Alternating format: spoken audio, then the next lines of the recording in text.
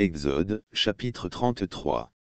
Et le Seigneur dit à Moïse, Pars, et monte d'ici, toi et le peuple que tu as fait monter hors du pays d'Égypte, vers la terre laquelle j'ai juré de donner à Abraham, à Isaac et à Jacob, disant, Je la donnerai à ta semence et j'enverrai un ange devant toi et je repousserai les Canaanites, les Amorites, et les Hittites, et les Périsites, les Hivites et les Jébusites, dans une terre ruisselante de lait et de miel, car je ne monterai pas au milieu de toi, car tu es un peuple réfractaire, de peur que je ne te consume en chemin.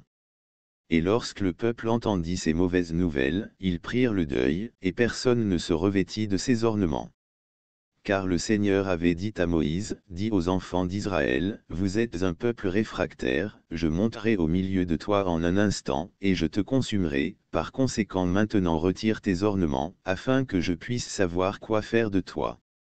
Et les enfants d'Israël se dépouillèrent de leurs ornements près du mont Horeb. Et Moïse prit le tabernacle et le dressa hors du camp, loin du camp, et il l'appela le tabernacle de la congrégation. Et il arriva, que tous ceux qui cherchaient le Seigneur, sortaient vers le tabernacle de la congrégation, lequel était hors du camp.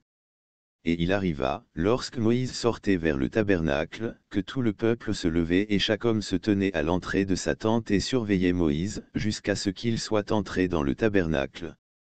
Et il arriva, comme Moïse entrait dans le tabernacle, que la colonne de nuages descendait, et se tenait à la porte du tabernacle et le Seigneur parlait avec Moïse.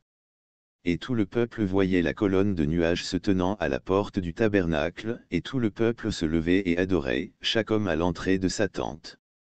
Et le Seigneur parlait à Moïse face à face, comme un homme parle à son ami. Et il retourna au camp, mais son serviteur Josué, le fils de Nun, un jeune homme, ne partit pas du tabernacle. Et Moïse dit au Seigneur, Regarde, tu me dis, fais monter ce peuple, et tu ne m'as pas fait connaître lequel tu dois envoyer avec moi. Cependant tu as dit, je te connais de nom, et tu as aussi trouvé grâce à ma vue. Maintenant donc, je te prie, si j'ai trouvé grâce à ta vue, montre-moi maintenant ton chemin, afin que je puisse te connaître, que je puisse trouver grâce à ta vue, et considère que cette nation est ton peuple. Et il dit, Ma présence doit aller avec toi, et je te donnerai du repos. Et il lui dit, Si ta présence ne va pas avec moi, ne nous fais pas monter d'ici car en quoi connaîtra-t-on que moi et ton peuple avons trouvé grâce à ta vue, n'est-ce pas en cela que tu vas avec nous? Ainsi serons-nous séparés, moi et ton peuple, de tous les peuples qui sont sur la surface de la terre. Et le Seigneur dit à Moïse, Je vais faire cette chose aussi dont tu as parlé, car tu as trouvé grâce à ma vue, et je te connais de nom. Et il dit, Je t'implore, montre-moi ta gloire.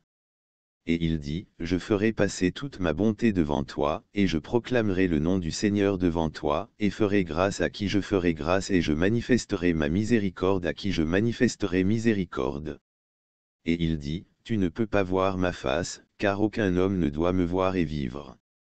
Et le Seigneur dit, Voici, il y a un lieu près de moi, et tu dois te tenir sur un roc, et il arrivera, pendant que ma gloire passera, que je te mettrai dans la fente du roc et te couvrirai de ma main tandis que je passerai, et je retirerai ma main, et tu dois voir mon dos, mais ma face ne doit pas être vue.